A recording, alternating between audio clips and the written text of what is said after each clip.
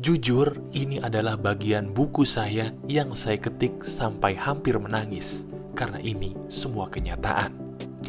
Ini adalah buku pribadi saya. Kalau kamu suka banget dengan cara pikir saya, buku ini akan menjadi buku idaman kamu.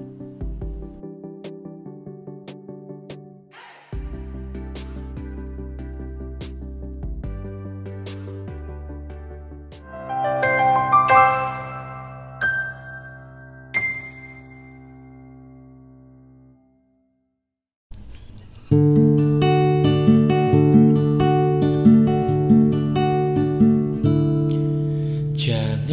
cintai aku. Apa adanya, jangan. Tuntutlah sesuatu. Biar kita jalan ke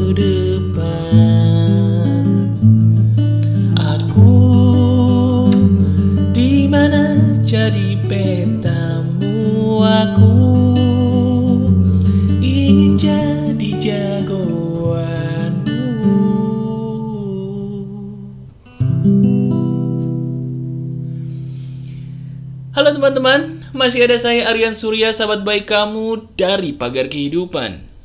Sebuah lagu yang ternyata memiliki lirik sangat dalam. Dan ini dia yang akan kita bahas di hari ini. Bahwa ternyata memang betul ada sebuah hal yang perlu kita pelajari dari lirik lagu Tulus yang berjudul Jangan Cintai Aku Apa Adanya.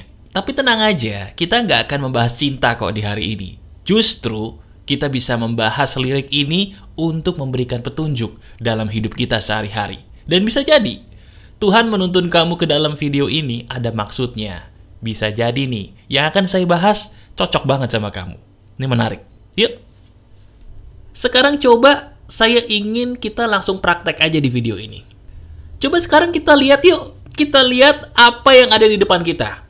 Saya nggak tahu kamu lagi ngapain, saya tidak mengerti apa yang sedang kamu kerjakan, saya hanya ingin tolong lihat apa yang ada di depan kamu. Sekarang katakan kepada saya, apa yang ada di depan kamu? Nah, kalau kita merasa bahwa apa yang di depan kita ini adalah suatu hal yang biasa, sadar gak sih kita ini ngaco? Benar, kita ini adalah orang yang kebanyakan ngaconya daripada benarnya.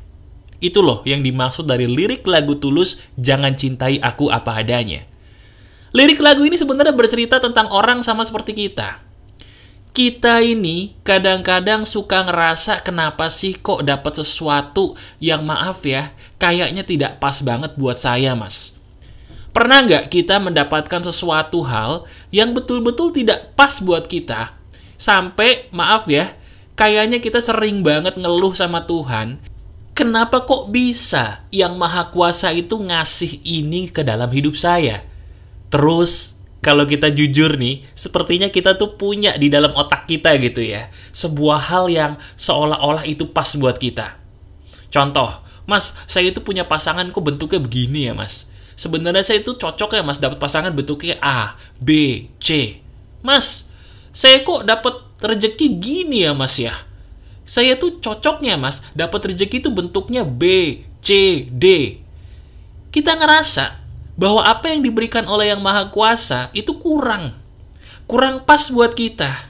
Sama seperti lirik lagu tulis tadi. Dia minta, tolong jangan cintai aku apa adanya. Aku tuh pengen dituntut sama kamu supaya aku tuh berkembang. Tapi sadar gak sih teman-teman? Semua orang Ya termasuk kamu nih, iya, sebagai sahabat baik saya. Kita ini pernah loh, paling nggak sekali aja dalam hidup melakukan hal seperti lirik lagu tadi. Kita ngerasa kenapa kok saya dapat ini, saya itu cocoknya nggak dapat ini mas. Saya itu cocoknya dapat yang seperti itu. Pernah nggak kita kayak gitu? Kalau pernah, tos dulu. Tos dulu sama saya. Saya pun sebagai sahabat baik kamu pernah bahkan sering mengalami momen keadaan seperti itu. Nah terus mas, kalau begitu apa hikmah atau pelajaran yang ingin Mas Aren berikan dari lirik lagu Tulus tadi? Hikmahnya adalah begini. Kita itu ngerasa bahwa apa yang di depan kita itu semuanya kurang tepat. Sekarang coba lihat apa yang di depan kamu. Baik itu handphone, laptop, meja, atau jangan-jangan di sekitar kita ada orang ya. Coba lihat orang di sekitar kita, siapa pun mereka. Baik yang kita kenal ataupun yang tidak kita kenal. Lihat mereka. Nah sadar nggak? Kita tuh ngerasa bahwa semua orang yang ada di sekitar kita saat ini, semua benda yang ada di sekitar kita saat ini, itu semua kebetulan. Betul atau tidak dalam hati kita berkata bahwa meja ini, laptop ini, handphone ini dalam hidup saya terjadi itu kebetulan, Mas. Loh, sekarang tahu gak sih? Daun yang jatuh ke tanah aja itu butuh izin dari Tuhan dulu buat jatuh. Lantas bagaimana mungkin kita berpikir bahwa semua yang ada di sekitar kita saat ini nih, coba lihat, lihat itu baik-baik, itu semua kebetulan. Kan gak masuk akal. Oh iya, saya tahu, saya paham kok. Diri kamu ingin berkata, kalau memang ini bukan kebetulan mas, kenapa kok ini kurang baik bagi saya? Bagaimana mungkin ini yang terbaik dari yang maha kuasa untuk saya? Kok saya ngerasanya kurang klik mas dengan dia? Saya kok ngerasanya kurang klik mas dengan keadaan ini? Jawabannya adalah karena diri kita selama ini menjadikan tolak ukur pikiran kita sebagai keadaan yang seolah-olah terbaik. Betul nggak? Saya ulangi perkataan saya pelan-pelan ya, tolong dicermati. Betul atau tidak, selama ini kita itu selalu menjadikan apa yang ada dalam khayalan kita, pikiran kita, itu sebagai tolak ukur seolah-olah itu yang kita butuhkan. Sekarang saya mau tanya, udah buktiin belum bahwa itu yang kamu butuhin? Mana buktinya? Diri kita punya pasangan seperti ini bentuknya, sifatnya. Kita pengen yang lebih baik. Oke, tahu dari mana kalau yang lebih baik itu yang kamu butuhkan? Mana buktinya? Ada buktinya. Kita ngerasa bahwa karir ini yang sudah diberikan Tuhan saat ini dan di sini kamu sebenarnya bahagia gitu ya cuman karena gajinya kurang gede untuk saat ini kamu ngerasa ini bukan pekerjaan saya mas. Gajinya kecil walaupun saya bahagia mas di sini nggak terzolimi. Tahu dari mana? Kalau pekerjaan yang lain bukan itu itu yang terbaik buat kamu. Tahu dari mana? Ada buktinya. Tahu dari mana juga? Barang yang ada di depan mata kamu ini itu bukan sesuatu hal yang ditakdirkan buat kamu tahu dari mana bahwa barang yang ada di depan kita ini, ini loh yang sebenarnya dipilihkan Tuhan yang terbaik buat kita. Kita pengen banget beli laptop paling canggih, boleh, silahkan. Tapi sekarang lihat, kita ngotot nggak? Kalau kita ngotot, udah nggak bener itu. Udah nggak bener. Semua hal yang kita mau itu wajar. Wajar ya kalau manusia punya keinginan itu wajar. Tapi yang nggak wajar kalau kita punya keinginan dan kita ngotot. Saya pengen punya mobil baru, Mas. Terus ngotot, saya pengen mobil itu, saya pengen mobil itu. Eh, sebentar deh. Sebentar saya mau tanya dong. Kalau kita ngotot, pernah nggak sih kita bertanya sekali aja ke dalam hati kita, tanyain, kita ini siapa ya? Kita ini siapa sih? Kok maaf sok tahu banget? Kenapa kita tidak berusaha menerima kenyataan bahwa handphone ini loh yang saat ini cocok buat saya? Kenapa kita tidak berusaha menerima kenyataan bahwa orang seperti ini loh yang saat ini cocok buat saya? Bahwa laptop seperti ini loh, motor seperti ini loh, mobil seperti ini loh, karir seperti ini loh yang saat ini cocok buat saya. Kenapa kita tidak sekali-sekali mencoba berpikir seperti itu selama ini? Oh, saya tahu. Karena nggak ada yang ngajarin kan? Gak ada yang memberitahu seperti apa yang saya kasih tahu kepada kamu di video ini barusan. Betul? Nah sekarang ayo. Sekarang coba kita rubah dulu sudut pandang kita. Semua nasib itu bergantung sudut pandang kita. Setuju ya? Apa yang menjadi sudut pandang kita, cara pandang kita akan hidup, di situ akan membentuk nasib kita. Termasuk, sekarang coba perbaiki dulu. Halo? Halo? Coba perbaiki dulu cara pandang kamu tentang apa yang ada di sekitar kamu. Lihat tuh suami seperti apa yang kau punya sekarang. Itu yang kau butuhin loh untuk saat ini. Selama dia tidak zolim, selama dia tidak selingkuh, selama dia baik-baik aja cuman kurang pas mas, sama seperti lirik lagu tulus tadi, itu yang terbaik buat kita.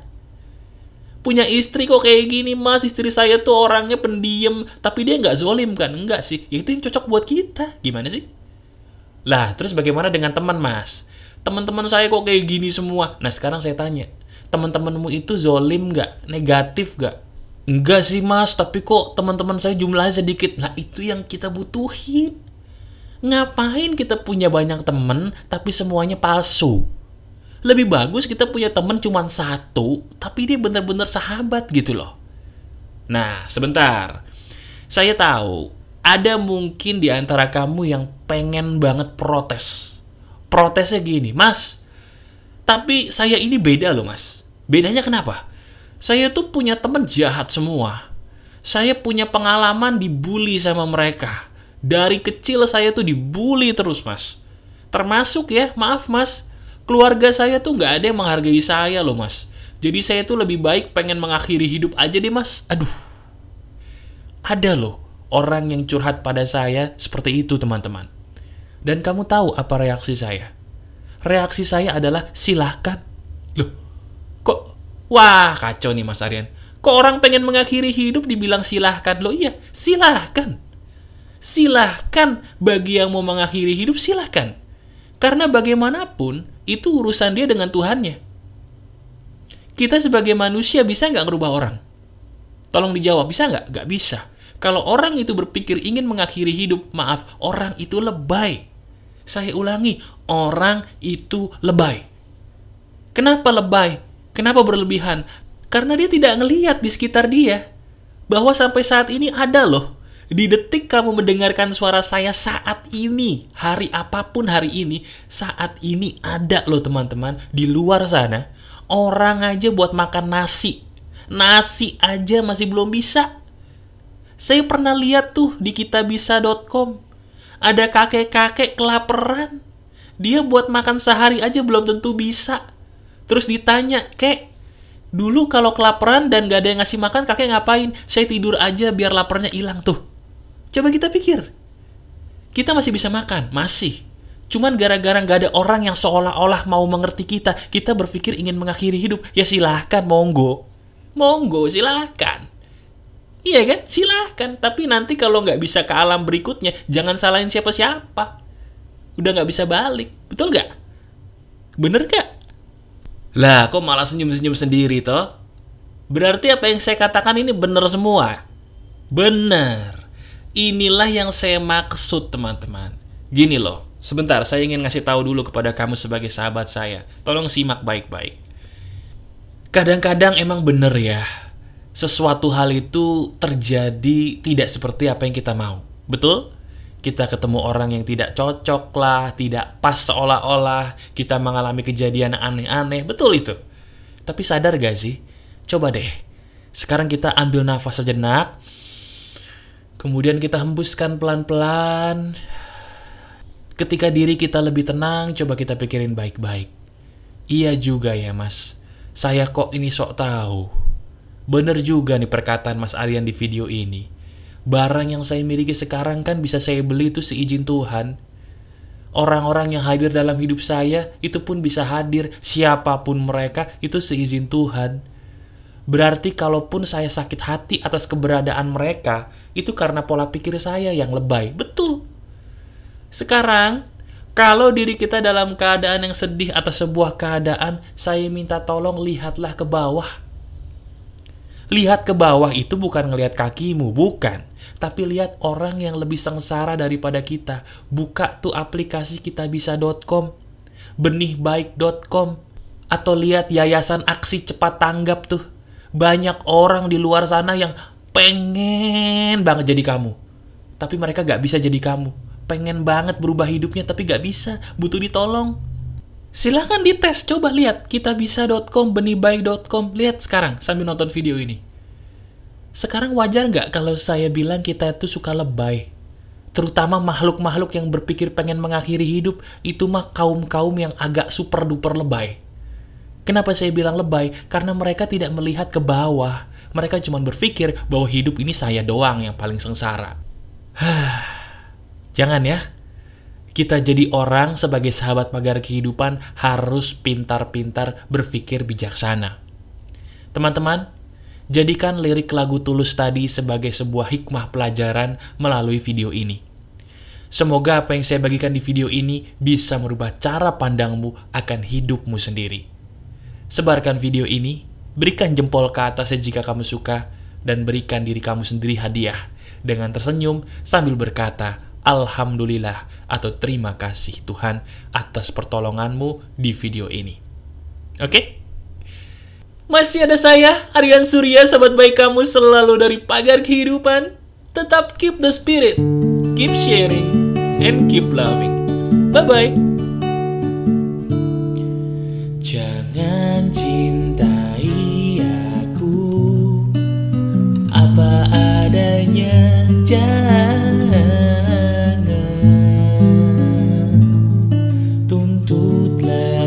sesuatu biar kita jalan ke depan.